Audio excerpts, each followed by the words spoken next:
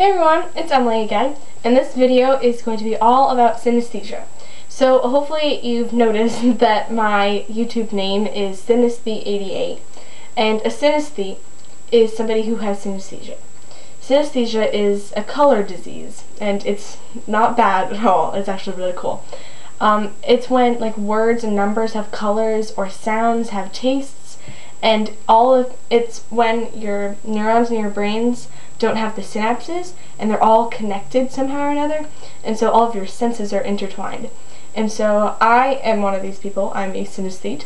And so um, if you want to learn more about synesthesia I will also put up more videos about it.